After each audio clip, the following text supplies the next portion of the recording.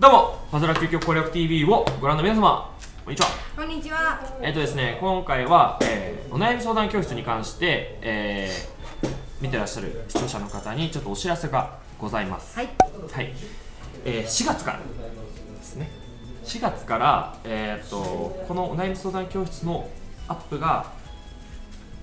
少なくなります、うん。はい、理由としては、えー私の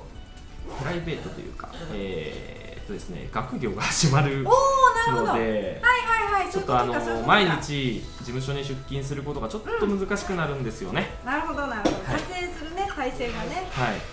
必要ですからね。なんで週に23本とかはい多分不定期になっちゃうと思うんですけれども、はいえっとやっぱりあのコメントの方であの続けてくださいとのコメントがやっぱり多かったありがたいことにはい多かったので、えー今後も4月になってからも、えー今後も続けていこうかなとはい。思っております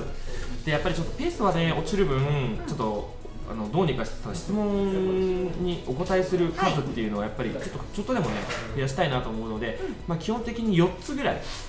4つとか今までは三つだった。はい、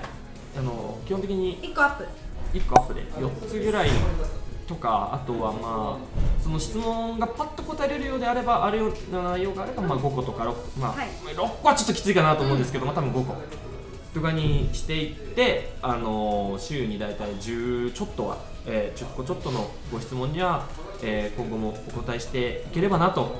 思っております。はい。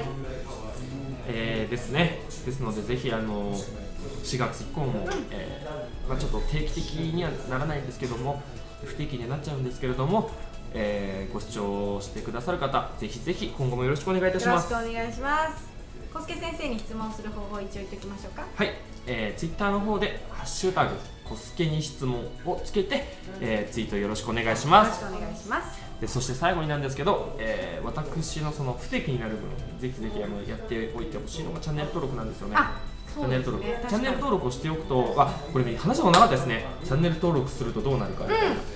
はいい話。えっ、しと登録すると Gmail でその Gmail ですよね。多分おそらくアカウントが、はいはいメールで Google のねアカウントがあるはい。この動画アップしアップロードされましたよっていう通知が来るんですよ。う。うんうん。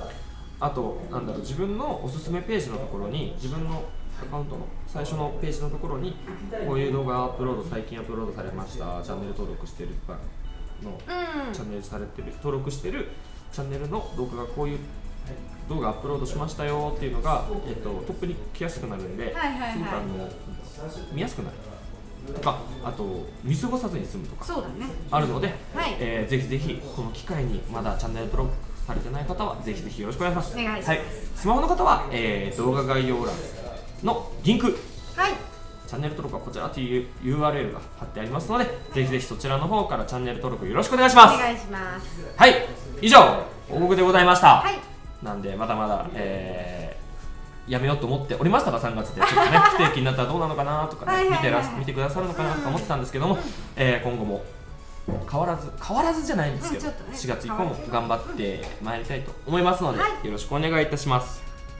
お願いします。それでは、ご視聴ありがとうございました。い今後もよろしくお願いします。バイバイ